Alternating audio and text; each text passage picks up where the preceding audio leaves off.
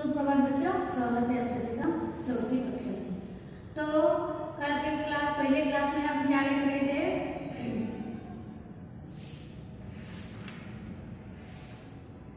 मनोकामना, यह कविता देखी है बाद में समय ही धन है, यह पाठ में हमने देखा है।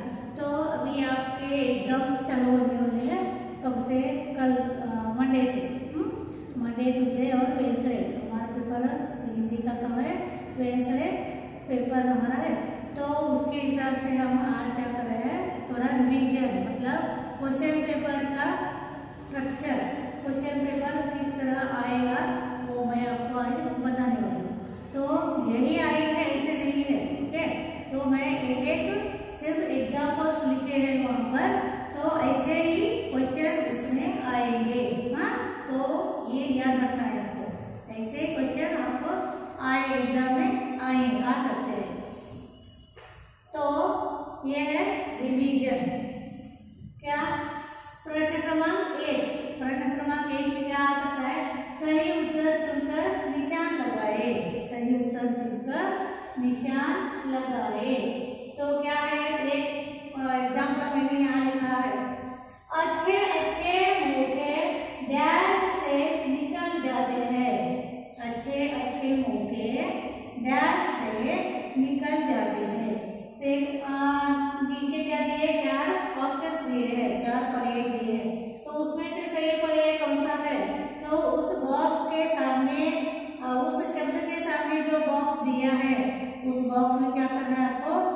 निशान लगाना है, सही का निशान लगाना है।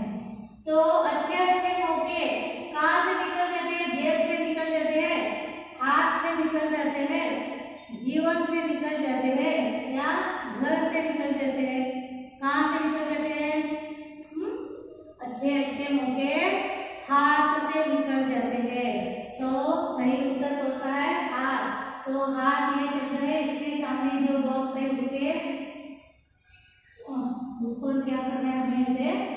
निशान लगाना है उस बॉक्स में निशान लगाना है सही का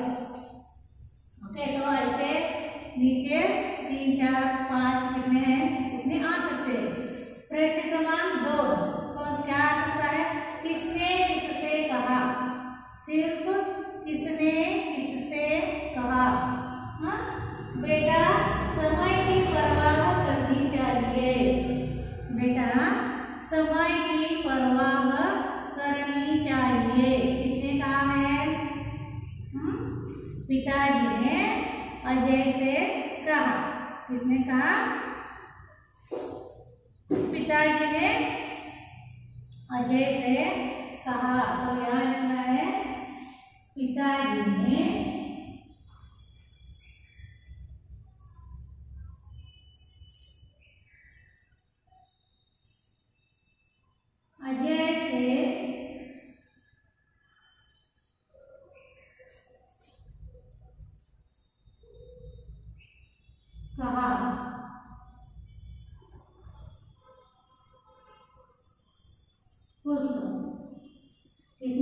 बेटा, समय की परवाह करनी चाहिए। इसने कहा?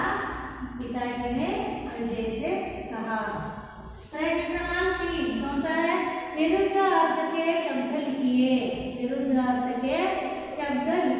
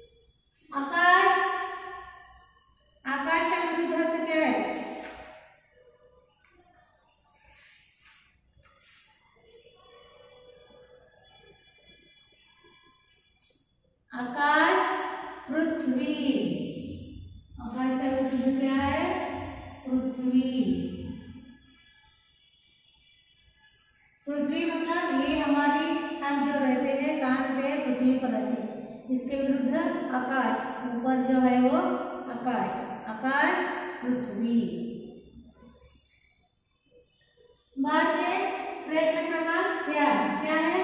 नीचे दिए गए शब्दों के वर्ण विच्छेद वर्ण विच्छेद मतलब क्या करना है? इस शब्द में जो मात्रा आई है, अ की मात्रा, अ को भी क्या करना है? अलग अलग करके लिखना है, ओके? okay?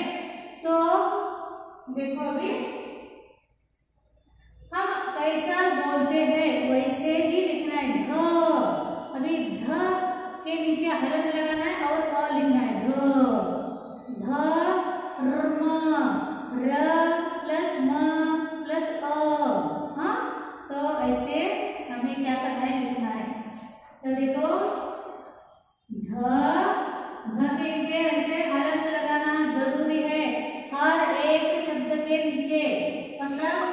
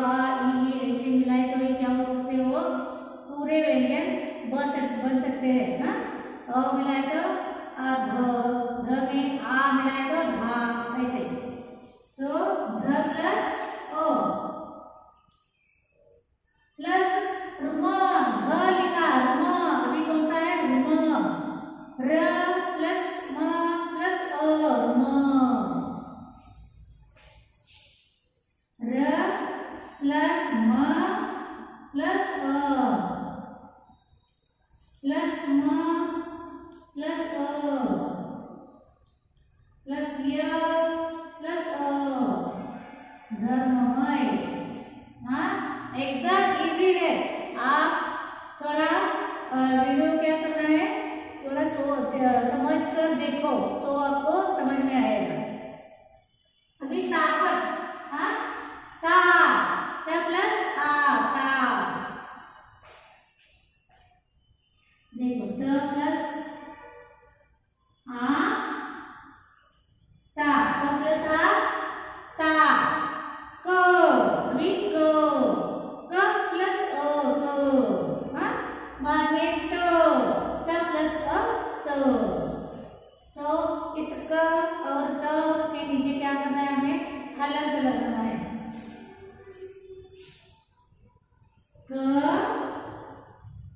嗯。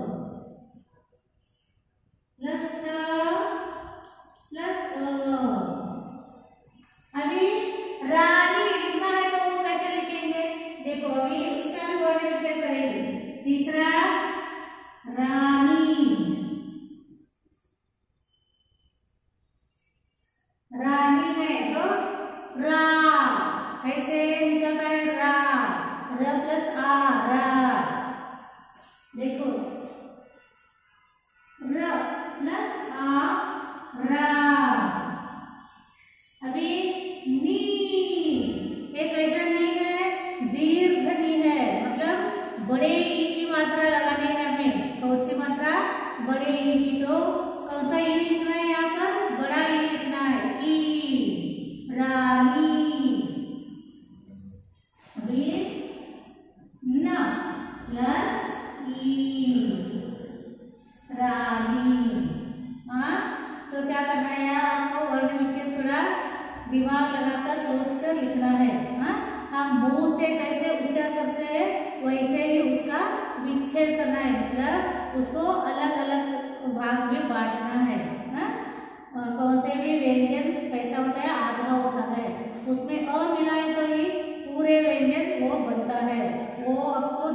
ध्यान रखना है याद में रखना है। सो so, ये चार खत्म हो गए आपके चल चलिए।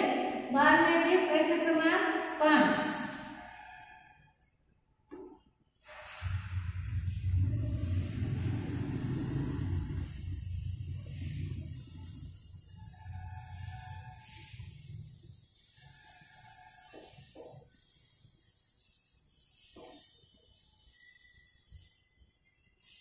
प्रश्न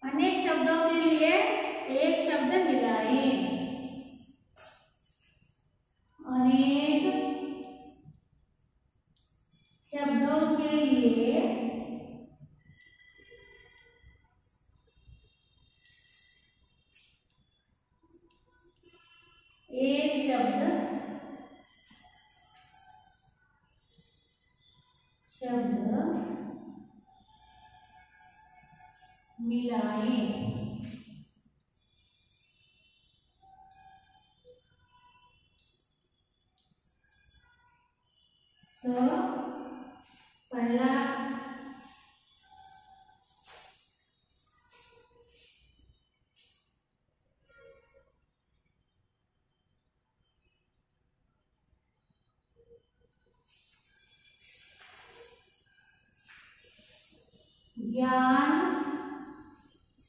प्राप्त करने की इच्छा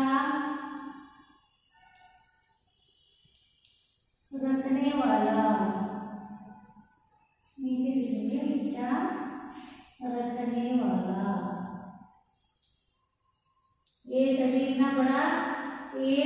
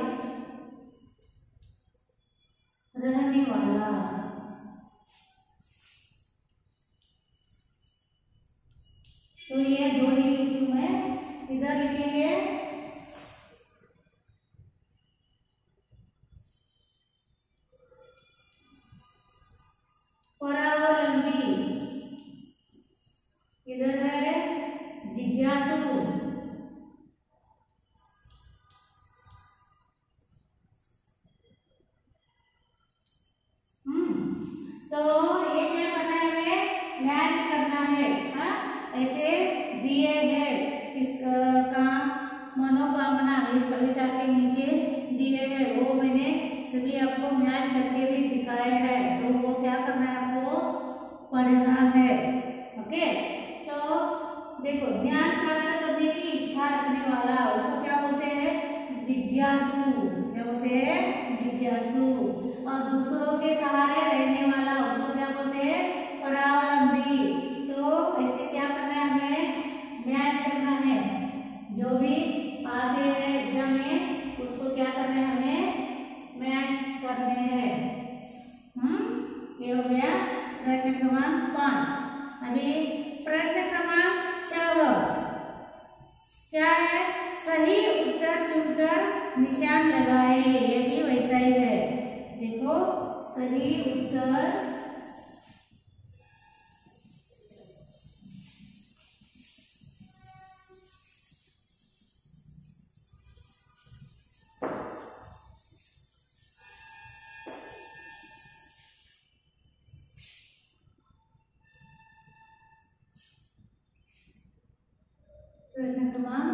क्रमांक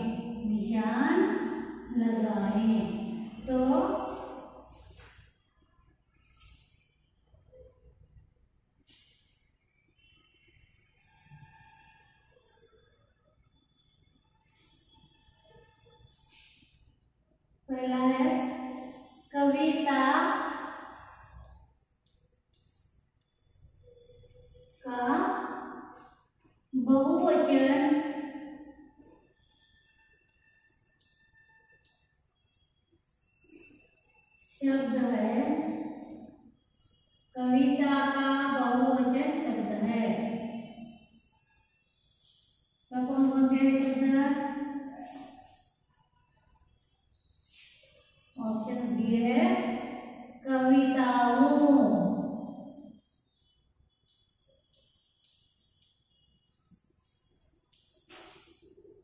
दूसरा है कविते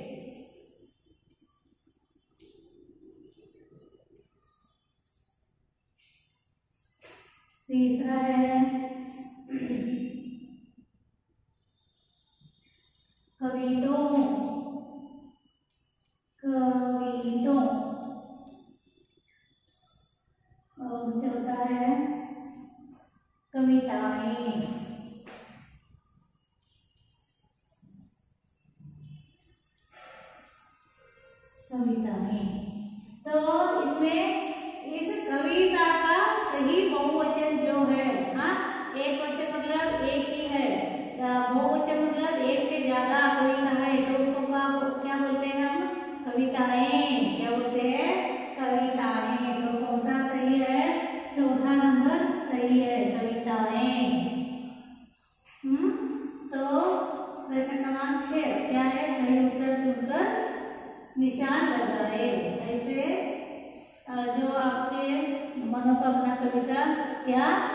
भी धन है, उसमें जो है, वो आ सकते हैं नीचे। बाद में बारह खड़ी लिखिए। नीचे दिए गए शब्दों की अक्षरों की सभी बारह खड़ी लिखिए। जो एक एक एक अक्षर दिए होते हैं तो उसकी क्या करनी है आपको? बारह खड़ी कंप्लीट लिखनी है। अगर क अक्षर दिया है तो क की बारह खड़ी कुल बारह खड़ी आपको लिखनी है। अगर घ की दी बारह कड़ी दी है तो घ की बारह करें मतलब ऐसे जितने भी अक्षर दिए हैं वहाँ पर, उसके उन सभी अक्षरों की आपकी बारह कड़ी कंप्लीट लिखनी है। बाद में लास्ट है, प्रश्नों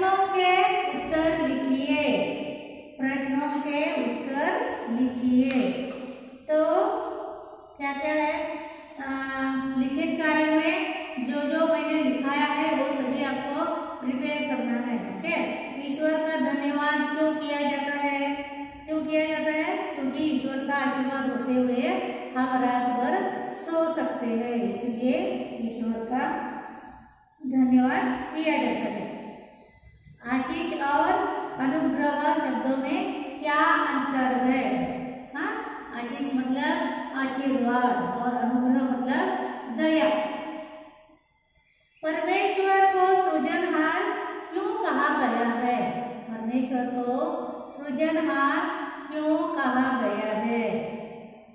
परमेश्वर ने ही पृथ्वी का निर्माण किया है। परमेश्वर ने ही पृथ्वी का निर्माण किया है और न वो थकता है। इसीलिए उसे सृजनहार कहा गया है। उबार शब्द का अर्थ लिखते हुए बताइए कि परमेश्वर किसे उबारते हैं? उबारना मतलब क्या है? उद्धार करना। हम्म? उबार का शब्द है उद्धार करना। और परमेश्वर पापियों को उबारते हैं। आगे का है, हम दूसरों की भलाई किस प्रकार कर सकते हैं? हम दूसरों की भलाई किस प्रकार कर सकते हैं?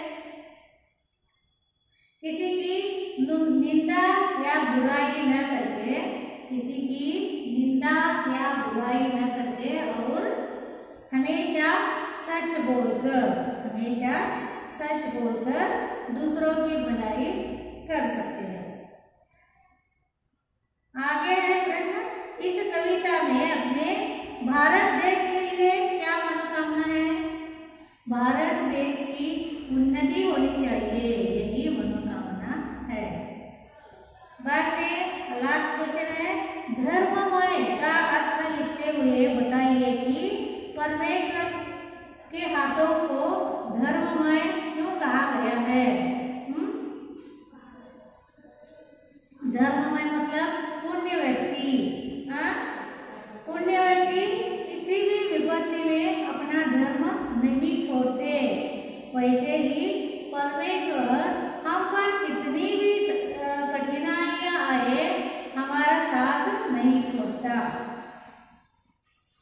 इसीलिए उसे धर्ममय कहा है बाद में आगे, समय ही धन है। उसमें प्रश्न उत्तर अजय स्कूल से उदास होकर क्यों लौटा? अजय स्कूल से उदास होकर क्यों लौटा? क्योंकि बस छूट जाने से वह स्कूल देर पहुँचा। हाँ इसीलिए उसका आखिरी प्रश्न रह गया। इसीलिए वो अजय स्कूल से उदास होकर घर लौटा। अजय की बस छूटने से क्या हुआ? अजय की बस छूटने से वह स्कूल देर से पहुँचा। तीसरा है, वक्त पर स्टेशन न पहुँचने का परिणाम क्या हो सकता है?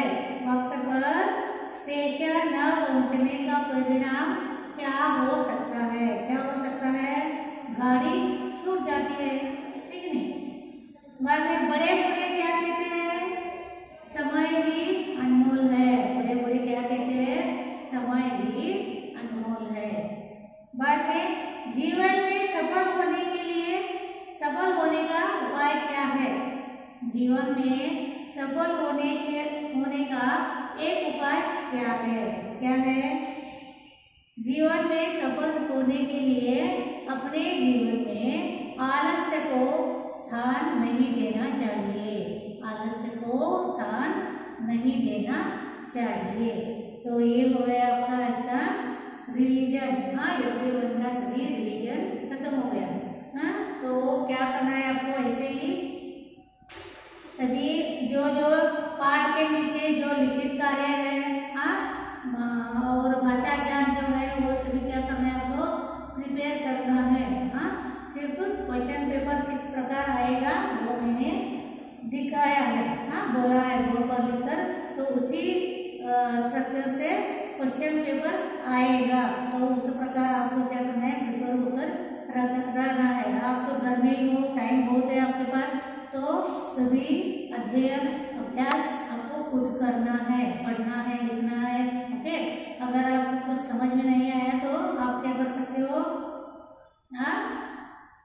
वीडियो देखकर उसमें से लिख सकते हो ओके तो आज के लिए इतना काफ़ी है। ऑल द बेस्ट पेपर अच्छे से लिखो। आज के लिए इतना काफ़ी है। आगे का बार हम एग्ज़ाम के बाद देखेंगे ओके धन्यवाद।